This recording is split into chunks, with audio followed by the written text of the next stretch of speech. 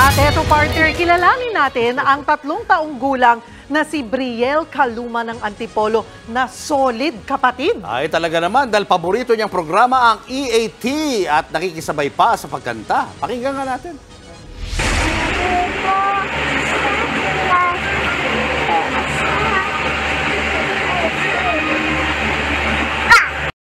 At eto pa, nanonood din siya ng ating programa partner. Oo, at meron siyang ginagaya.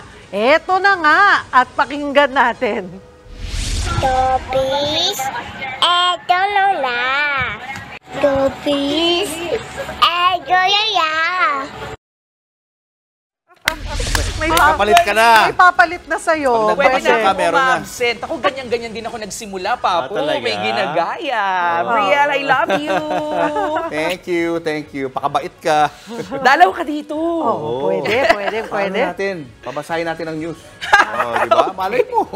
What's up mga kapatid? It's your sports Tito Mike Reyes at huwag magpahuli sa mga umaaksyong bakbakan at harapan sa loob at labas ng bansa. Para sa mga pandi ng sports news, mag-follow at mag-subscribe sa social media pages ng News 5. Alam nyo na ha? Peace and love.